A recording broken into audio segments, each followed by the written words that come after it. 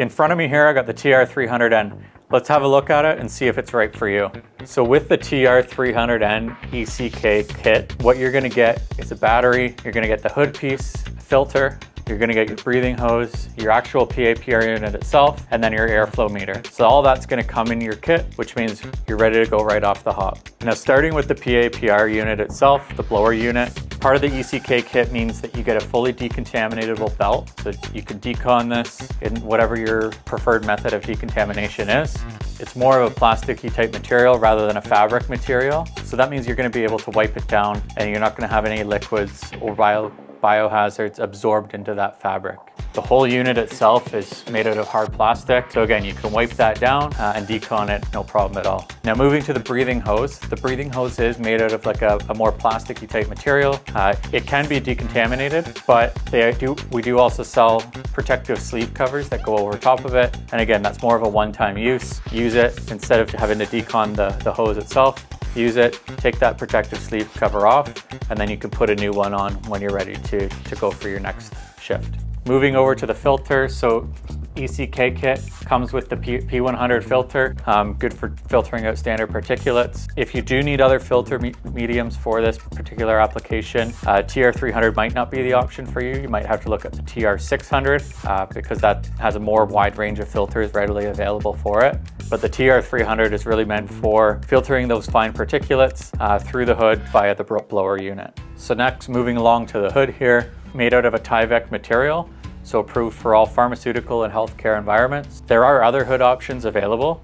So this one here is the S-133, comes in small, medium, and large. So all of these headpieces are fully adjustable. Uh, they have a kind of snapback style adjust adjustment on the inside, which means that just like a ball cap, you can make it snug to your head so that the front's not gonna sag down or it's not gonna tip up on you making sure that you have comfortable fit at all times. All of the headpieces also give you a wide range of view, one of the widest ranges of view on the PAPR market. Uh, so you really have no, no obstructions in your peripherals as you're working uh, and doing the tasks that you need to do. So the battery itself affixes to the bottom of this unit uh, and gives you about 10 to 12 hours of breathing air time, depending on filter medium coming through the cartridges uh, as well as the, the speed setting that you have on the fan inside the unit. So the battery itself does come with a charging bank and in that single bank charger, you can just pop it on at the end of your shift. So the last thing I'll talk about is your airflow meter. So the airflow meter affixes to the top of the blower unit. And what, the, what that's gonna tell you is by